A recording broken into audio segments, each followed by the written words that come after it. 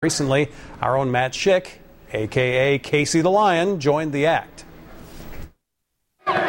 From Lil Red to Billy Blue Jay, mascots stand for everything that's right about sports. So why not become one? This already smells. Yes, it does. Okay. Should I still have a wedgie at this point? Yes. That one's in. Is that choking you? No, it's fine.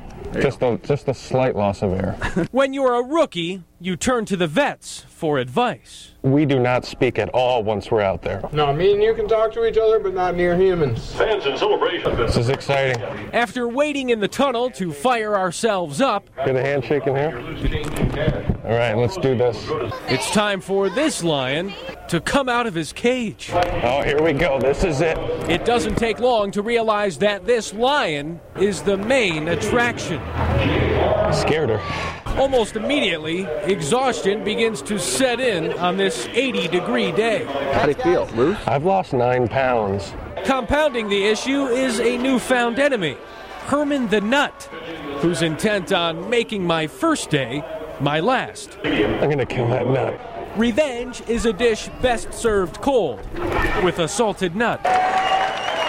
You also learn that being the team's mascot doesn't guarantee respect from the team. Jersh.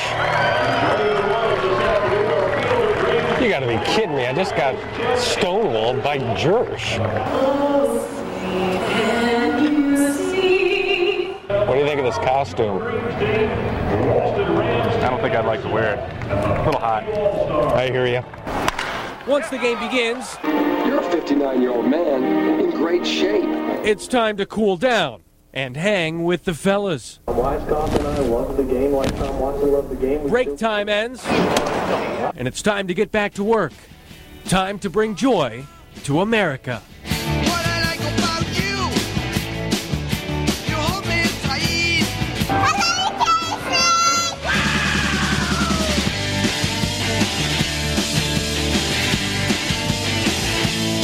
You hydrated? Oh yeah. Okay, good. Yeah, I gotta. I'm drinking the sweat pouring off my face.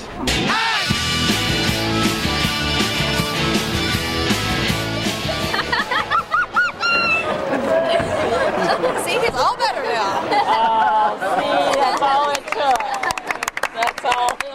After about two innings as the king of the jungle, this lion is left with his tail between his legs.